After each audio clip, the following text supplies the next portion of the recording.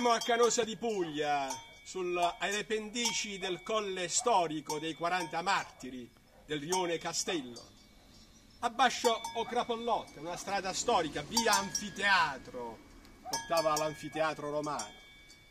Una via ripida, tant'è che il proverbio evoca che Sanghena a pass e Sascenna a trot, data la sua ripidità. A Bascio Crapollotte. Ma perché un Crapollotte? Perché c'erano allevamenti di capre.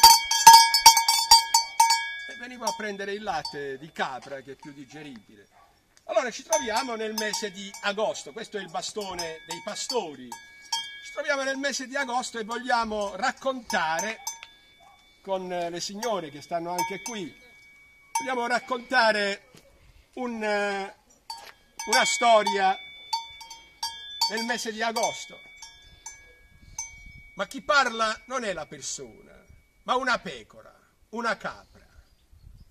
Abbiamo trovato questo racconto nel romanzo Famiglie del mille, della prima metà del Novecento, quando l'autore Antonio Schiraldi, ho trovato questo libro grazie a un amico Nunzio Lenoci, racconta la vita di Salataur.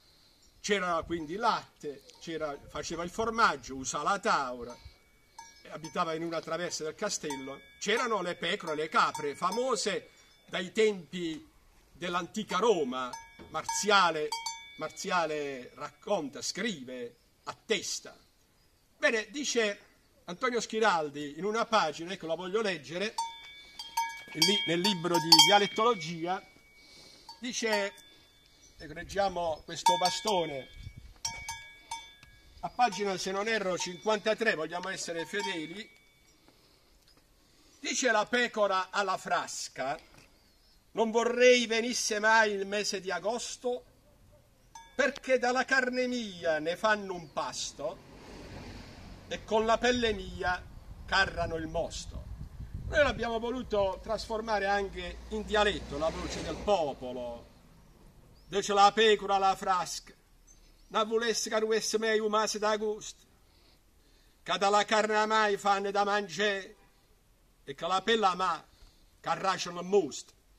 Già, con la pelle, con la pelle della capra abbiamo così portato una, un modello perché un modello autentico lo conserva la guardia, il professor Di Giacomo nella sua masseria verso Cerignolo, l'abbiamo visto, ma un modello anche autentico si trova anche nel museo etnografico di Mocchie, pensiamo, in provincia di Torino, tutto monia come cast potremmo dire.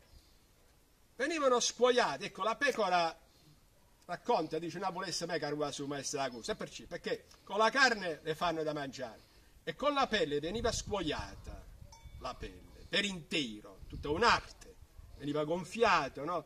un po' come si faceva ai conigli, veniva scuoiata per intera senza essere incisa e venivano messe essiccate al sole. Ecco, immaginiamo qua a Bascio Crapallotte, essiccate al sole. Poi venivano conciate, c'era un mestiere, un pedere, uno zio mio, Mammucci, Raffaele Mammucci, defunto, emigrato a Bologna, faceva questo lavoro, un pedere. Le pelli, la pelle di capra mio nonno, nonno Peppino, nonno materno, racconta prima della guerra si scendeva la mira con la pelle della crepa e ci capevano due quartiere, 20 litri. Bene, questa, questo racconto no, del vino trasportato nell'otre caprino abbiamo trovato anche conferma da una nonna anziana che vive ancora, Savina di Nunno, in un tinale, in un in una grotta, no? in uno stabilimento vinicolo e oleario di via Carlo Alberti. Io avevo mareni, eh, con le ciambe, lei proprio si, eh, eh simula, con le ciambe, ecco, pensiamo che sto caprino, con le ciambe tu, io portavo la mira a basciare la grotta, con la pete della crepa. Quindi abbiamo trovato conferma, ecco, l'otre caprino, l'otre caprino che serviva per trasportare il vino. Ma pensiamo tutto munie come caste ma Munnieve e Munnia, perché così ha, è vissuto anche Ulisse, lo racconta Omero nell'Odissea nel VI secolo. nel VI secolo.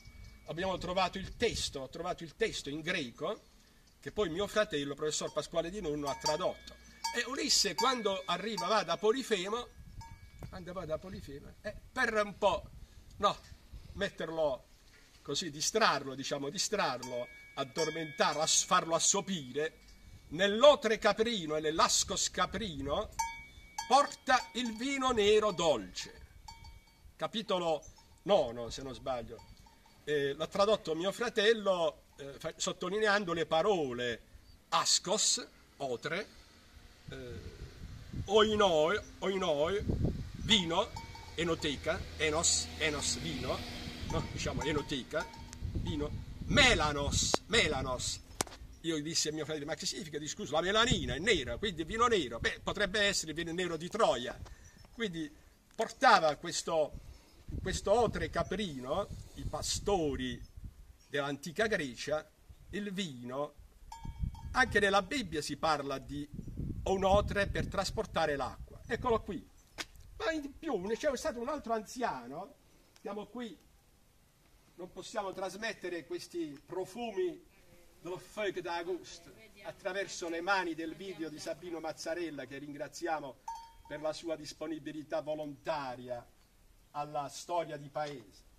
E attorno ai piedi questi, dei tetti, di questi tetti, delle tegole che ormai sono scomparse, delle taccarette, delle taccarette che serviranno per l'inverno e del profumo di questi fichi, no, di questo albero, incontrammo un altro anziano, Saverio Leone, no? nelle grotte di Leone, e Saverio Leone, un altro ottantenne, e diceva, si chiamava la Mandegna, la Mandegna.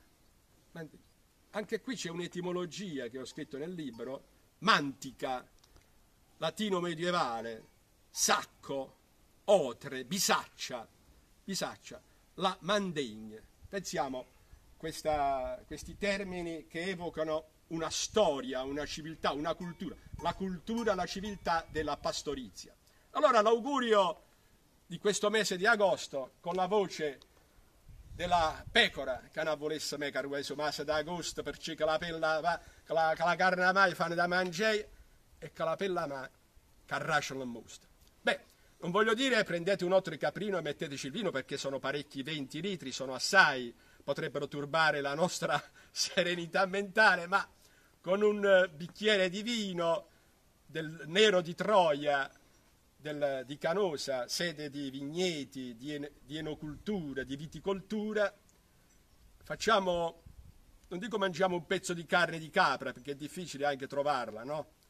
Ma eh, facciamo memoria di queste, mentre sentiamo di nuovo il rumore della, del campanaccio, ecco, di queste pecore che risuonano nel tempo, facciamo un brindisi al mese di agosto ai tutti i visitatori, agli emigranti e buon Ferragosto!